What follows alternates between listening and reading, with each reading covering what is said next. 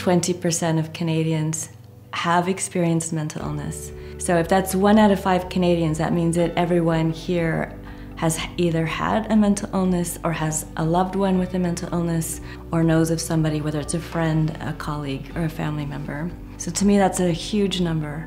And what's even more problematic or puzzling is that people don't feel that they can speak about it.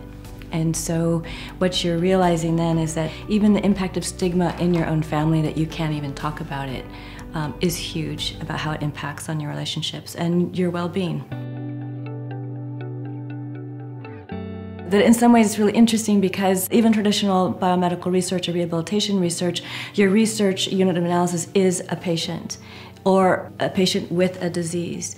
And with my research, it's really the unit of analysis is the community.